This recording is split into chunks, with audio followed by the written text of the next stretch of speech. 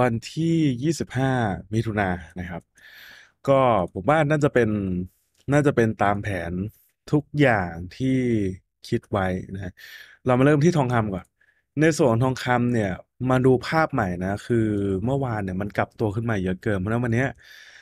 เราตอบยากนิดหนึ่งว่าจะเป็นยังไง คือจะเห็นว่ามันมีการทำไส้ข้างล่างถูกไหมยังไม่มีไส้ข้างบนนะครับ ในส่วนของ 4 ชั่วโมง ราคาเนี่ยมีการลงมารีเจ็คตรงนี้ ซึ่งจุดเนี้ยมันบอกยากนิดนึงว่า เฮ้ย ท้ายสุดเนี่ยมันจะขึ้นหรือมันจะลงกันแน่นะครับ เพราะฉะนั้น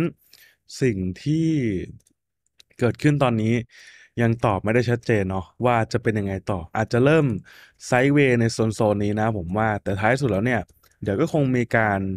วิ่งลงต่อได้ เพราะฉะนั้นจังหวะที่เราควรจะเซลล์เนี่ย ผมว่าเซลล์อีกทีหนึ่งปลอดภัยเลยเนี่ย น่าจะเป็นข้างล่างนี้นะครับสองสามสองศูนย์จุดสี่เจ็ดห้าตรงเนี้ยเราสามารถเซลล์ได้เซลล์ที่ปลอดภัยกว่า เพราะว่าถ้าเกิดเราไปเซลล์ตั้งแต่แนวรับตรงนี้เลยเนี่ยผมมองว่าเฮ้ยมันเป็นจุดที่ราคาอาจจะลงมาแตะเฟกเอาแล้วกลับตัวขึ้นได้เพราะฉะนั้นอย่าเพิ่งไปเล่นนะครับ จุดที่เราสามารถเล่นได้น่าจะเป็นโซนข้างล่างตรงนี้นะตรงโซนตรงนี้อย่าเพิ่งไปเล่น นะถ้าเกิดถามว่าเฮ้ยแล้วราคากลับขึ้นมาข้างบน สามารถเล่นได้ไหม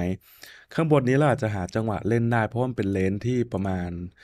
60 ปิ๊บเลนนะครับ เพราะนั้นเราหาจังหวะเนี่ยเล่นในกรอบราคานี้ได้นะครับ ซึ่งคำถามคือแล้วจะเล่นยังไง อันเนี้ยมันต้องไปดูหน้างานเราเอง ผมไม่สามารถตอบให้ได้ว่าเราจะเล่นยังไง ในส่วนของหน้าตาแบบนี้นะครับเดี๋ยวนะอีกฝั่งหนึ่งเปลี่ยนเป็นอย่างนี้นะตรงนี้เลนอยู่ที่ประมาณ